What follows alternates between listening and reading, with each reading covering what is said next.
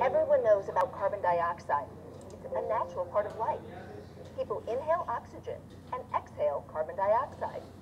This odorless, colorless compound is not poisonous, but it can be dangerous in two ways.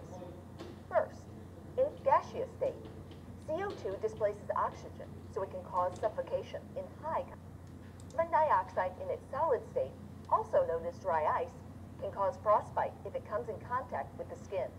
If you work with CO2, there are a few things to keep in mind. Your workplace is required to have a safety data sheet with information on how to safely handle, use, and store CO2. I recommend that you read the safety data sheet before using any substance, chemical, or mixture at work. In a gaseous state, you're likely working with CO2 in pressurized cylinders. Your employer will have a storage area for these cylinders that is well ventilated and away from any heat sources. It might be tempting to roll, drag, or slide these containers, but resist. Even though the gas is relatively stable, damaging the containers can cause a leak, which is hazardous to the entire workplace.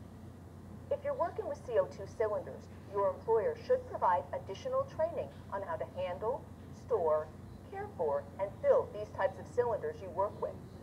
Just know that in summary, CO2 cylinders are safe if they're properly handled and maintained but can cause serious injury, property damage, and even death if not properly cared for.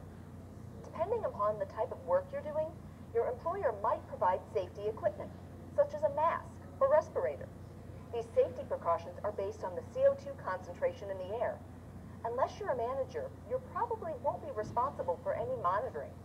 But it can be helpful to know that the Occupational Safety and Health Administration, or OSHA, dictates what monitoring is necessary at your workplace. If the air is being monitored, you have a right to know the figures. So, ask if you're worried.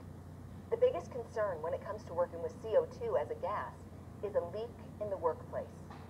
You need to know that CO2 is heavier than air, so after a leak, CO2 can pool in confined spaces, like tanks, trenches, or low-lying areas.